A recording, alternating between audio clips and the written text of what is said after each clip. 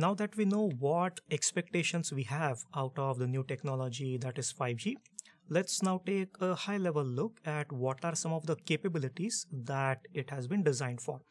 And one thing to keep in mind here is that 5G has been designed to provide enhancements that are not just linear like 5% or 10%, but rather enhancements that are in the multiple or on the orders of magnitude such as 2x, 5x, 10x or even 100 times better than some of the legacy technologies and their offerings.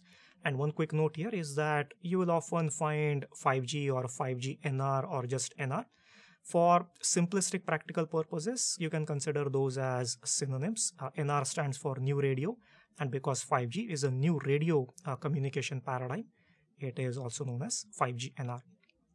So let's focus on some of the KPIs or key performance indicators that 5G will be judged by and what are some of its high level capabilities in those regards. First up, as with any cellular communication technology, would be its data speeds or throughputs or bit rates, as engineers also like to call those. Uh, 5G has been designed to provide bit rates that are on the order of multiple uh, gigabits per second, not just for the download, but for uh, upload uh, as well. As far as packet latency goes, which is the time delay that it takes for a data packet to go from one end to the other, uh, that latency metric has been also optimized in the 5G design. Under certain conditions, 5G uh, can help you achieve packet latencies that are as low as uh, 1 milliseconds or just a few milliseconds uh, in other conditions.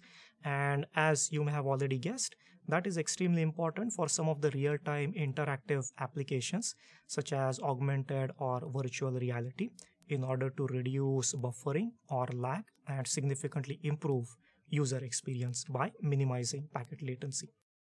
It would be not very difficult to provide such improved performance in terms of speeds and latency uh, in some very specific network conditions, but importantly, 5G has been designed to provide better performance in a more uniform manner, uh, regardless of where you are in the network.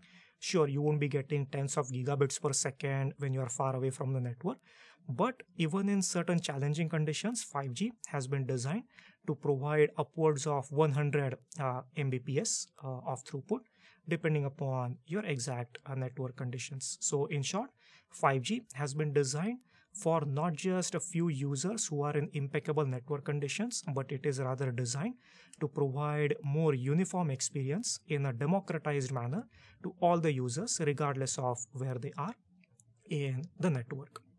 Ultimately, cost per bit is an important metric that network operators have to keep in mind. It is essentially how much money it costs them uh, to bring one bit of data from an application server to you and indirectly that translates to how expensive or cheap your wireless service will be. And 5g has been designed in such a way that it uh, lowers cost per bit of uh, data transport as compared to some of the legacy technologies. And that means that given everything else equal it will directly translate to lower bills for consumers like uh, you and i uh, and that is what makes 5G technology more affordable, even though it has the potential to provide significantly better performance than legacy technologies. So it is essentially about to bring us better performance at lower costs than legacy technologies.